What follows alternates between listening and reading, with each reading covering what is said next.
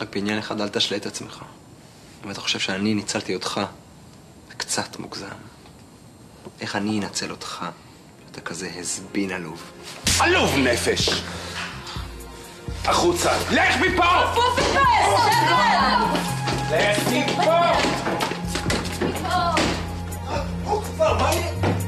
לכם? תגיד תודה שאני לא מזמין משטרה! אתה הטרדת חייל! לא, אתם פשוט חבורה של פסיכים, זה מה שאתם. יאללה, יאללה, רוח מפה, רוח. פסיכים. רוח. אה, ומה אתה? יאללה, עוף מפה אמרו לך, עוף, עוף מפה. פה, מה זה? סוף סוף בן אדם שפוי הגיע. שאלתי מה קורה פה, שוקי, מה זה צריך להיות?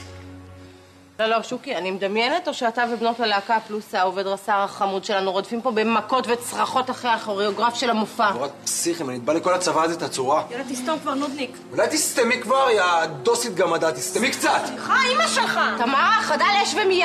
אידיוט. מה, מה קורה פה, שוקי, מה זה? קורה עכשיו שאני מפטר את הכירוגרף של הלהקה. סליחה? מה שאת שומעת, טל צדק, עומד לפניי חלאת המין האנושי, שיקר, תמרן את כולנו. חלאת המין האנושי. טוב, קארין, אני לא מוותר על העבודה הזאת. עדיף לך מאוד שתוותר על העבודה הזאת. מאוד עדיף לך, יא חתיכת שקרן, מניאק, פדופיל, סוטה. עוף מכאן, עוף מכאן, מניאק! תחזור לפה, תגידו בטוחים שאני אחזור, ואתם תראו אותי עוד פעם! זבל!